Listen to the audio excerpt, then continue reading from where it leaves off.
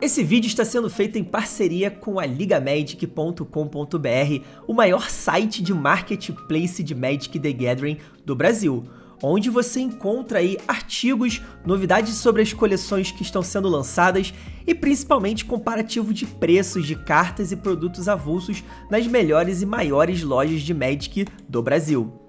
No mês de julho, a cada 100 reais em compra, vocês concorrem a um kit de pré-lançamento de Commander Legends Batalha pelo Portal de Baldur. Lembrando que ao finalizar o seu pedido, se você colocar o código PLANINAUTA, você dobra o valor da sua compra, sendo assim aumentando seus cupons e suas chances de ganhar no sorteio. Acesse ligamagic.com.br e conheça o maior site de Magic the Gathering do Brasil.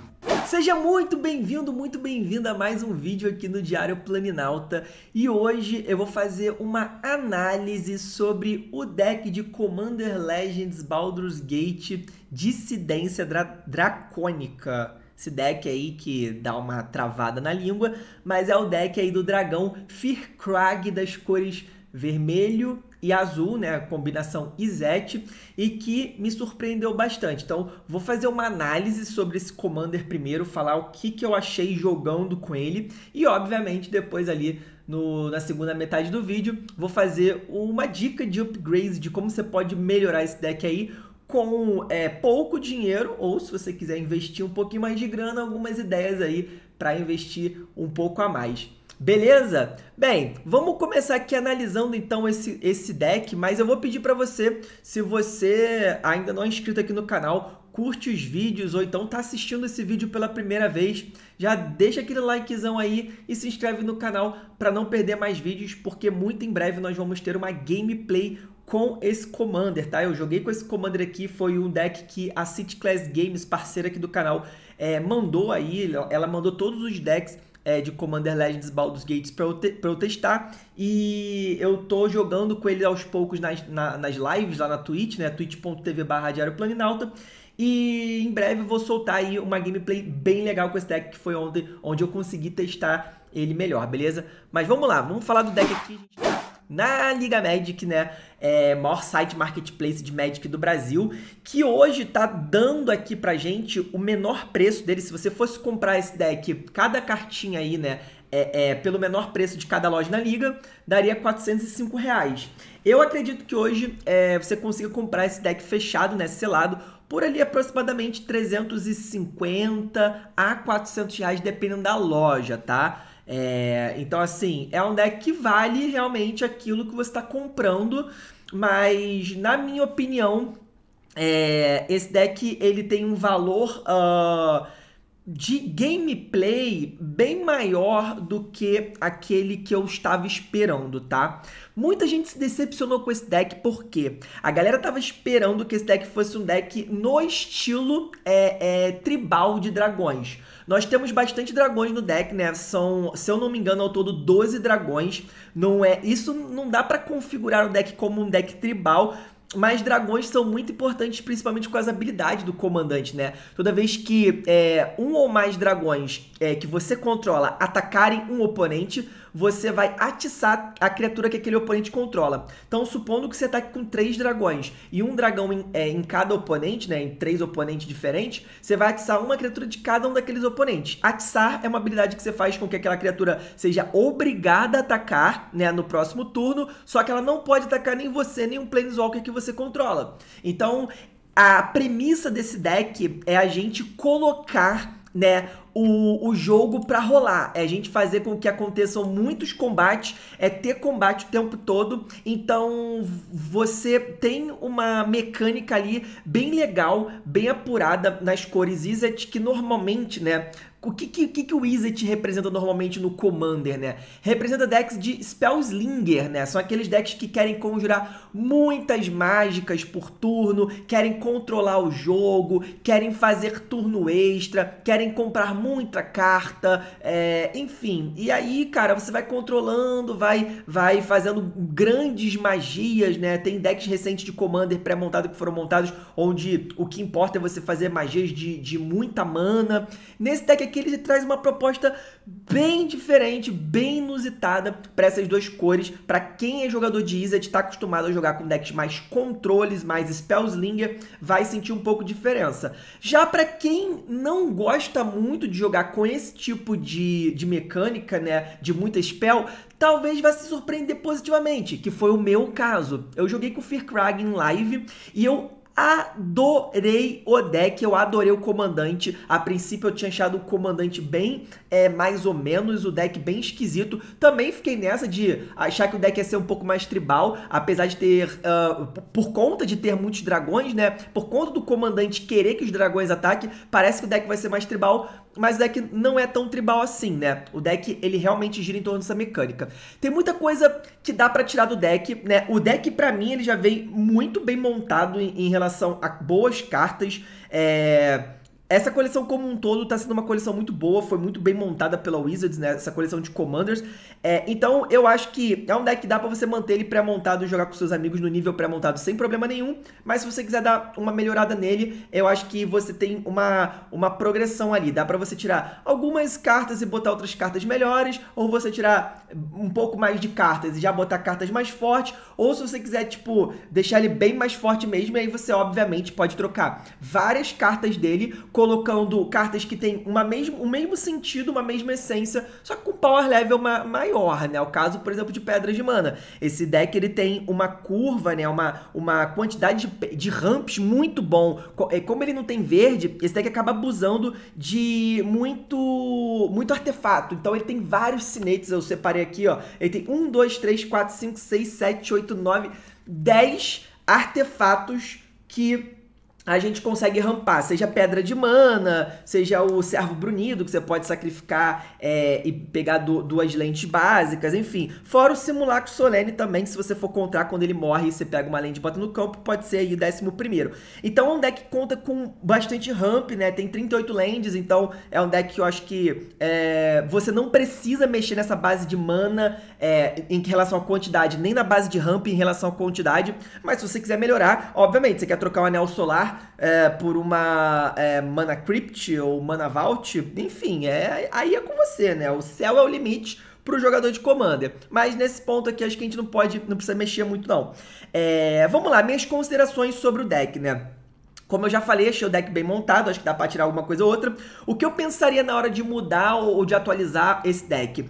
Eu acho que esse deck, por exemplo, precisa ter formas de dar ímpeto para as nossas criaturas. O deck, ele é um deck sobre combate. Ele, você vai querer estar tá atacando o tempo todo e você vai querer fazer com que seus oponentes ataquem o tempo todo. Então, nem sempre vai dar para fazer eles atacarem com, com o Atsar. Então, o Atsar é a melhor proteção que a gente tem. A gente obriga eles a atacarem e eles são obrigados obrigados a não atacar a gente. Então isso é maravilhoso. Mas às vezes a gente acaba obrigando eles a atacarem, mas aí a gente pode ser uma opção. Então formas de se proteger é muito importante. Já tem algumas formas legais aqui, né? Algumas delas, as melhores para mim, é propaganda. Para mim é muito bom encantamento, né? Que, que tem que pagar dois para cada criatura que estiver te atacando. E o campo de dissipação, que é outro encantamento. Toda vez que uma criatura, que uma permanente causa dano a você, o controlador dela, né? Devolve, é, devolve ela para a mão. Então, uh, são duas cartas que se protegem é, protegem você no caso, mas eu acho que você pode pegar algumas outras coisas, tem umas dicas aí mais pra frente na parte do upgrades, né?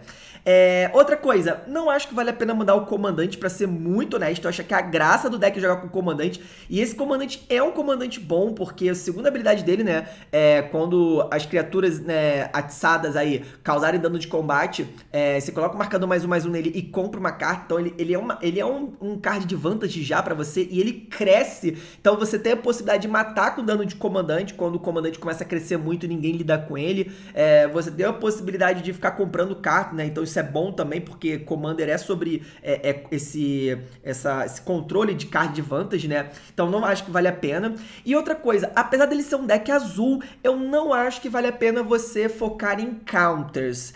Cara, eu sei que é muito bom, muito importante. Pô, tem azul, dá para controlar, Thiago. Eu quero botar. Cara, quer botar? Quer botar um, dois, três, cinco counters? Cara, pode botar. Mas eu não vejo necessidade. Eu não vejo necessidade porque eu não vejo esse deck tendo um, um grande combo que você precisa proteger. É, apesar do comandante ser muito importante, você pode tentar proteger ele de outras formas. É, esse deck, cara, ele, ele honestamente, ele. Se você for jogar ele num, num ambiente onde o power level é mediano, eu, eu, eu, eu analiso, né? Avalio esse deck como um power level 6. Eu não acho que você precisa colocar counter, porque eu não acho que você vai pegar um deck que você precise ter counter para anular um combo, anular uma grande jogada super poderosa. Se todos os decks estiverem do mesmo nível, eu acho que você não vai ter muito problema. E outra coisa importante, né? Se você pensa é, em colocar mais dragões, você pode começar a pensar se vale a pena de repente botar cartas como Corneta do Arauto ou como o, a incubadora de Urza, né? Que são cartas que diminuem o custo aí de criaturas que você escolhe. Tem duas criaturas muito boas para esse deck aqui também que po podem entrar, né? Que, que é o Dragon Lord Servant e o Dragon Speak Shaman, que são dois goblins aí que diminuem o custo dos dragões. Mas isso eu só pensaria em colocar colocar essas mágicas, essas, essas permanentes, essas criaturas aí é, e artefatos que diminuem o custo é, e que tem sinergia com o deck tribal se você colocar bem mais dragões nesse deck. No mínimo, uns 25% do deck tem que ser dragão. Então, eu colocaria entre 25 a 30 dragões aí, mas aí cabe a você avaliar se vale a pena, porque se for para você colocar dragões que não tem muita sinergia com o deck e só e só entram no deck porque são dragões, aí eu já, já ficaria um pouco um pé atrás, já acho que não vale a pena fazer isso, beleza? É... Mais uma vez, lembrando, é... esse deck aqui, quanto mais formas você conseguir colocar ímpeto nele, melhor, beleza? É, é, essas são as principais dicas e análises do deck, né? É, mais uma vez, não mudaria as lands, a não ser a questão da, da land básica, tirar para colocar algumas lands melhores. Não mudaria a questão também dos artefatos de ramps, a não ser também se você quiser botar artefatos melhores, que no caso vão ser mais caros. Então, ou você, se você quer investir nisso, ou se você já tem esses artefatos, aí tudo bem, é por sua conta e risco. É... Mas de resto, assim, o que, que eu tiraria do deck? Vamos lá, vamos antes de falar o, o, as dicas de upgrade, vou falar sobre as dicas do que eu tiraria no deck, e aí eu quero mostrar aqui na minha mesa para você. Tô aqui na mesa, assim, eu separei em três, em três camadas, né? As cartas que eu com certeza tiraria do deck de qualquer forma, as cartas que prova muito provavelmente vão sair do decks para entrar coisas melhores. E, e as cartas que eu tiraria sim, mas se você deixar no deck eu não acho que é um grande problema, na minha concepção. Primeiro, Baleia Perseguida. Cara, uma carta de custo 788, não tem evasão, não é dragão. Cara, não faz a menor necessidade de ter no deck, pode trocar por um dragão facilmente. Ímpeto psíquico, tem muita sinergia com deck, é legal. Dá mais dois, mais dois e atiça a criatura encantada, né? Só que toda vez que a criatura ataca, se dá evidência 2. Não é como se fosse grande coisa. Se isso te desse um draw, aí eu acho que eu até pensaria em deixar. Mas como é evidência 2, honestamente, eu acho que essa carta é um pouquinho um pouquinho fraca. Classe Artífice, uma ótima carta que não tem nada a ver com deck. Se eu não me engano, essa carta foi lançada nesse deck. Ela é uma carta que tem a ver muito com artefato e, e eu vejo que tem um subtema de artefatos no, no, nesse deck que, para mim, é muito forçado. Não tem necessidade de você ter esse subtema de artefatos. E aí, por último, eu tenho a Artesão de Clã. Eu acho que, diferente de outros backgrounds e outros comandantes, eu não tiraria. Esse aqui eu com certeza tiraria. Acho que não tem necessidade. Acho que é. é, é, é, enfim, enfim é, é uma carta meio que sem necessidade nesse deck, poderia ser trocado facilmente por qualquer carta melhor.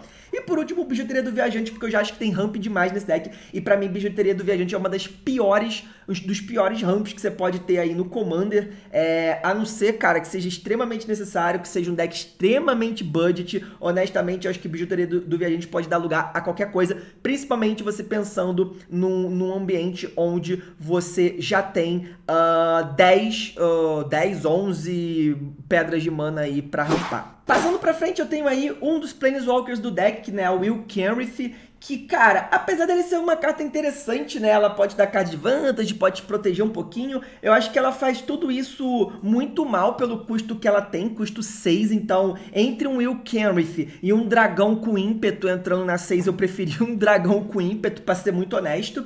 É, Vendaval Etéreo, ela é uma carta que, ela tem um grande problema pra mim, né, quer dizer, alguns grandes problemas. Ela custa 5, não é muito, né, devolva 6 permanentes alvo não de terreno para as mãos do seu dono. O grande problema pra mim é, primeiro, ela é um feitiço. Cara, se ela fosse uma mágica instantânea, eu nunca tiraria do deck, mas, cara, ela é um feitiço, isso para mim nerfa muito essa carta. E você é obrigado a devolver seis permanentes, então, se não tiver alvo, se não, se não tivesse seis alvos aí pra você devolver, é, você não consegue resolver essa mágica, ou na pior das hipóteses, você vai ter que devolver suas permanentes, né? Não sei se você vai querer fazer isso. Então eu tiraria, tem coisas bem melhores para se proteger nesse deck. Disputa pela pilhagem, pela pilhagem, a, a, a princípio me pareceu um encantamento bem legal. É, você tomar a dianteira, fazer ficha de tesouro, quando terminar um, uma masmorra, você coloca um dragão 5-5, mas honestamente é aquela mesmo papo. Eu acho que tem muitas alternativas bem melhores para colocar no deck. Por último, a Guerra Cruzana é uma carta que eu não gosto. Você pode pensar em deixar, você, ganha o controle da criatura, depois você atiça, né? Você atiça não, você, obriga as criaturas a baterem, depois é, as criaturas vão, se, vão se causar dano. Mas, cara, a, a quantidade de. É, quantidade de coisas legais que isso pode acontecer é muito assim, cara, um em um milhão. A, a quantidade de vezes que essa carta pode falhar e ser três coisas assim horríveis. Enfim, eu particularmente prefiro tirar para colocar coisa melhor. E por último aí, mais cinco cartas que eu tiraria desse deck para colocar cartas melhores, mas se você não quiser tirar, ou, ou se você não tem ainda cartas melhores para colocar no deck, eu particularmente deixaria um pouco, seria a outra irmã, né? São dois Planeswalkers legais, o Will e a Ron, mas acho que nesse deck eles não encaixam tão bem. O ímpeto brilhante é outra aura, né? A gente tirou aquela primeira aura, lá azul, eu tiraria essa daqui também, mas essa pelo menos é te dá um tesouro toda vez que a criatura atizada ataca. Então, se for para escolher uma das duas, eu deixaria essa. É, tem o, o Kazu, é uma carta que parece muito interessante, né? Toda vez que te atacam, é, você é, pode criar um, um, ogro a menos que o atacante pague 3. Então ele, nossa, é uma propaganda, vai ter que pagar 3. Cara, depende. Se o cara tá te batendo com uma criatura voadora e você tá com seus bichos voadores tudo, tudo virado, ou não tem nenhum bicho voador, seu ogro não vai fazer nada, sabe? Seu ogro não tem alcance, seu ogro não tem voar. Então, se for uma criatura que não pode ser bloqueado também, você não vai poder fazer nada. Eu não acho que ele é tão bom quanto parece.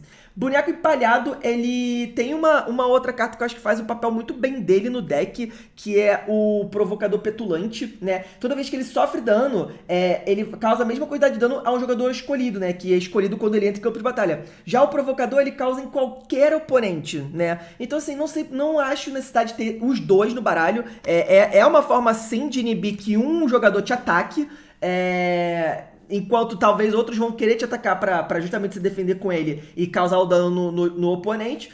É, é uma carta que dá pra, pra, dá pra ficar, mas eu também não sou muito fã. E por último, Beijo Letal, custo 6, observador 5-5. Toda vez que uma criatura que um oponente controla atacar um de seus oponentes, dobra poder. Isso é muito legal, só que honestamente é mais uma carta que eu acho que é muito cara, custo muito alto, custo 6 para não ter voar, não ser dragão, e enfim, tem uma monstruosidade ali que é, é, é ok, mas assim, eu tiraria se precisasse para colocar coisas é, é, melhores, né?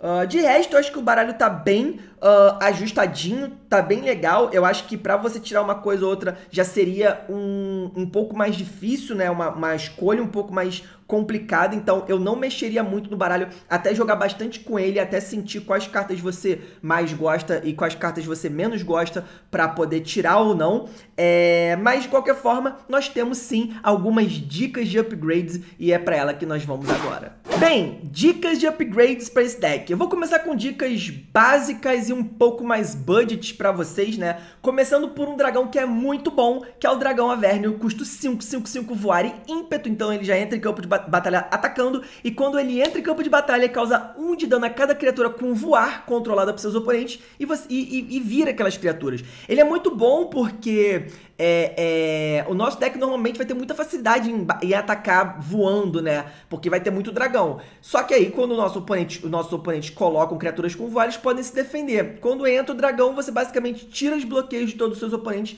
e a gente pode atacar livremente. Essa cartinha tá aí custando o menor da liga 11 na, na, nessa edição, 8, então não é uma carta tão cara assim. Passando pra frente, uma carta que chegou recentemente, Renari, né? Chegou nessa coleção de Baldur's Gate também. Essa tá baratíssima, né? Tá centavos. E ele diz que a gente pode conjurar mágica de dragão e artefato como se estivesse em lampejo. Então, cara, imagina a gente fazer nossos dragões e nossos artefatos. Tem bastante artefato no deck, né? Dá pra você colocar mais também, mas acho que já a quantidade que já tem já de dragões e artefatos já justificam bastante a entrada do Renari no deck pra você fazer as suas mágicas com lampejo. É, aí vemos uma carta que não é um dragão, mas para mim é uma carta ótima, carta baratíssima, 1,45, ela só foi printada em um Commander lá, lá no ano retrasado, sei lá, em Icória. Ela diz o seguinte: toda vez que uma ou mais criaturas atacarem um de seus oponentes ou um Planeswalker que eles controlam, aquelas criaturas vão ameaçar. Então, toda vez que você atacar ou os, seus oponentes ou seus oponentes se atacarem, elas vão ganhar ameaçar e vai deixar muito mais difícil para eles bloquearem. Esse cara é muito bom, acho que encaixa bem nesse deck. Nós temos aí essa carta que eu acho que é, cara, importantíssima nesse deck. É, é outra carta que tá baratíssima aí, ó, 10, 20. A, a edição dela de Commander, é, de Commander, né, mais antiga, 16 a, a de Tarki aqui é 9. Então, assim, dá para pegar essa carta ali por, por, por 10, 15 reais tranquilamente. Ela diz o seguinte: é um encantamento de custo 2. Toda vez que uma criatura com voar entra em campo de batalha sob seu controle, ela ganha ímpeto. Então, é o que a gente quer: botar os dragões e já bater na maldade. Toda vez que um dragão entra em campo de batalha sob seu controle, ele causa X pontos de dano a criatura alvo ou jogador alvo, sendo X o número de dragões que você controla. Essa segunda é, é cara, é um bônus, é uma cereja no bolo, porque pode ser que é, é vai, ser muito bom, você vai conseguir dar um, dois, três, quatro de dano. Ou, cara, você nem tá nem aí, só que é o ímpeto, custo dois encantamento. Cara, eu gosto muito desse encantamento. E aí, uh, nós temos um artefato que novamente, seguindo essa, esse pensamento, apesar de nós termos 10 uh, ah, pedras de mana, eu colocaria o Orbe do, de, dos Dragões de Cornalha, né? É, custo 3, artefato vermelho, vira adicionando uma mana vermelha. Se for gasto para uma mágica de criatura da, dragão, ela ganha ímpeto. É isso, redundância, né? A gente quer redundância no deck, mais uma carta que dá ímpeto, eu colocaria com certeza no deck, tá? Centavos essa carta. É uma adição muito boa. Dá para tirar alguma coisa, alguma pedra de mana que já tem, ou simplesmente botar mais uma, e aí tamo junto, tamo firme, são dragões, custam caro, então a gente quer isso. Agora a gente vai para um pouco de maldade, né? Essa carta ela não tá tão cara, tá? Eu acho que você consegue comprar ela. É óbvio que o mínimo da liga tá, tá 4 reais, mas é, acho que você consegue comprar ela aí, pegar mais tranquilamente por até 20 no máximo. Mas, cara, essa carta é para causar. Todas as criaturas atacam todo turno se estiverem apta e todas as criaturas bloqueiam todo turno se estiver apta. O que, que isso significa pro deck? Isso, isso é o, o coração é, é o coração do nosso do conceito do nosso deck. A gente quer ver pancadaria. Então, um, um encantamento que obriga nossos oponentes a atacarem é perfeito. O, o drawback, né, de, dessa carta é que seus oponentes podem te atacar e você uh, uh, é obrigado a bloquear se puder. Então, assim, fica um pouco complicado. Mas é óbvio que a gente vai querer botar coisas para nos proteger e com a habilidade de atiçar a gente acaba aí tendo um, um pouco de proteção a mais. É, eu acho que isso aqui também uh, é uma dica, uma sugestão. Eu colocaria no meu deck. Não acho que é uma carta que super precisa entrar, mas, cara, é uma carta que com certeza iria deixar aí esse, esse conceito, a ideia do deck bem legal. Pensando nisso, temos uma outra que é muito boa também, que é Tumultuar, tá? Um pouquinho mais caro, né? Mas também acho que você consegue pegar menos de 20 reais aí, é um pouco mais tranquilo, né? Tumultuar, ela diz que criaturas não podem bloquear. Olha que maravilha, custo 4, criaturas não podem bloquear. Então vira a verdadeira é, é, festa ali do, do clube da luta, a pancadaria come sincera, todo mundo se bate e ninguém pode bloquear. E, cara, é, é uma loucura, é outra carta que eu com certeza colocaria nesse deck também. E aí nós temos umas opções para se proteger, né? Essa carta aqui, cara, eu, eu honestamente não sei porque ela tá tão barata. Ela só tem um print que é, que é em Commander também, né? Uh, Commander 2013, e ela é o seguinte, é uma instantânea de custo 4, é, só pode é, conjurar ela durante a declaração de bloqueadores, tá? No, no turno do oponente. Você tira todas as criaturas que estão atacando de combate e desvira elas. Aí depois dessa fase, tem uma, uma fase adicional, e cada criatura que estava atacando naquele combate, é, não, e cada criatura uh, daquelas, né, ataca se tiver apta. E aí, ela não pode atacar você um Planeswalker. Basicamente, o que, que é isso? T todas as criaturas são, sei lá, são obrigadas a te atacar com os encantamentos. E você não pode bloquear. Você vai lá, dá um Illusionist Gambit e você simplesmente desvira aquelas criaturas e agora vão atacar outro oponente, que não você. Então, é uma ótima forma de se proteger e com a proposta desse deck eu acho que encaixa perfeitamente. É, nós temos outra carta que é uma das minhas cartas budget de Commander favorita. Ah, Thiago, meu sonho é ter um, um, um Cyclonic Rift. Pô, 30 milhões de reais, não tem condições. Cara, beleza. Tem o Eterificar. É um Cyclonic Rift? Não, tá longe de ser um Cyclonic Rift mas como uma proteção budget, pra, principalmente para confrontos de decks de muita criatura, ela é maravilhosa. Paga 4, devolva todas as criaturas atacantes pra mão do seu dono. É simples, vai me atacar? Tem certeza? Beleza, me atacou com tudo, devolve tudo pra mão, e aí é isso, vida que segue. E aí tem mais algumas aqui, por exemplo, o Pongify, né, Pongidizar, que, cara, é, essa é uma carta que poderia ter muito mais reprint, né? A Wizards acho que tem preguiça de reprintar essa carta, é uma carta muito boa. Custo instantâneo, destrói a criatura alvo, ela não pode ser regenerada, o controlador dela bota um Ape 3-3. É basicamente, tá, você vai me atacar com seu comandante mesmo? Você vai atacar com esse bicho 10-10 aí mesmo? Você vai me atacar com esse bicho que vai, pô, me matar mesmo? Pongify nele e aí resolve o problema. Hibridização é a mesma coisa. Hibridização veloz. Destrói a criatura alvo, é, não pode ser generada e aí ele cria um Frog Lizard no lugar dela. E por último tem o desvio de realidade que ela exila né, a criatura alvo e o controlador manifesta a carta do topo do Grimório. Então, são todas cartas aí, é, remoções pontuais, que é uma coisa que esse deck tem pouco, né? Esse, deck tem até algumas formas bem legais de resolver globalmente, né? Ato blasfemo, reação em cadeia, maldição do suíno, são feitiços bem legais que resolvem globalmente, mas é, é, é remoções pontuais, a gente tem só a distorção caótica, né? Que é, enfim, uma das melhores cartas aí, para mim, a melhor remoção vermelha do formato. Uh e, e aí, adicionar essas cartinhas aí não faria mal. Temos mais uma aqui por último, né? Essa aqui não é muito. É, essa aqui também é uma forma de lidar com, com problemas, né?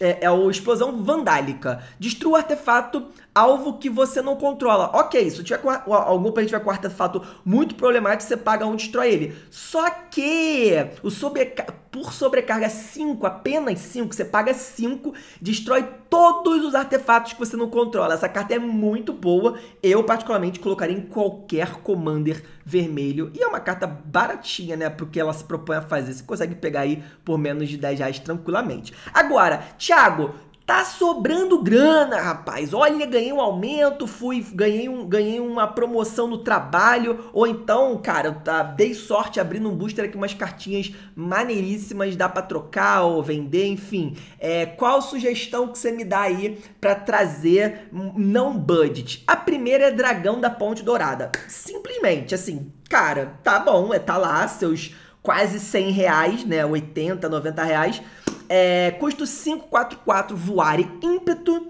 Toda vez que ele atacar ou se tornar alvo de uma mágica, cria uma ficha de tesouro. E os tesouros que você controla tem, sacrifica esse artefato, adiciona duas manas. Cara, surreal, não precisa explicar muita coisa. Essa carta é maravilhosa nesse deck. E por último aí temos um que passou dos 100 reais. Essa carta que também só tem uma coleção, né? Que é, que é Conspiracy é o Grenzo, ele não é um, ele não é um dragão, mas ele tem muita sinergia com o que o baralho quer fazer, né? Custo 2, 2, 2. Toda vez que uma criatura que você controla causa dano de, jogar, de combate a um jogador, você escolhe um. Ou você atiça uma criatura que aquele jogador controla, ou exila o topo do card do, da, do Grimório daquele jogador, e até o final do turno você pode conjurar a carta como se é, se fosse mana de qualquer cor, né? Você pode conjurar aquela carta e gastar mana como se fosse de qualquer cor para conjurar aquela mágica. Então, assim, o Greus eu acho que é uma carta muito forte, é, tá? Seu preço acho que não é à toa, acho que é um, o power level dessa carta é bem alto.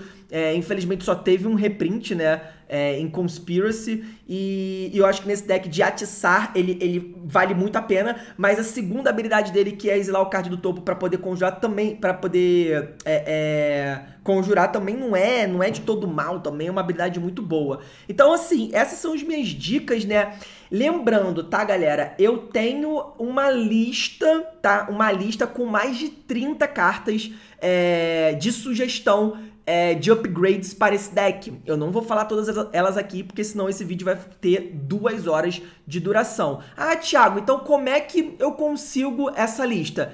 apoia.se barra Diário Planinalta. Estou fazendo aí o projeto de Apoia-se cada vez mais forte, cada vez mais sólido, para que eu consiga trazer um conteúdo extra para vocês e que vocês consigam me ajudar a melhorar o conteúdo no canal. O meu próximo objetivo é comprar uma GoPro para que eu possa filmar os jogos nas lojas, né? Eu, tô querendo começar a jogar Pioneer, tô querendo é, fazer, alguma, é, fazer algumas participações em evento, fazer algumas ações em loja e uma GoPro seria uma adição muito boa para o canal para poder fazer esse tipo de vlog ou mesmo filmagem de gameplay. Se você curte esse tipo de coisa, quer ver a gente trazendo isso pro canal, cara, considera ser um apoiador ou uma apoiadora aí do Diário Planinalta e além de você me ajudar muito, você vai receber diversas recompensas. Tem sorteio é, é, para os apoiadores, tem é, análise e montagem de deck de Commander, tem participação nas lives jogando Commander comigo.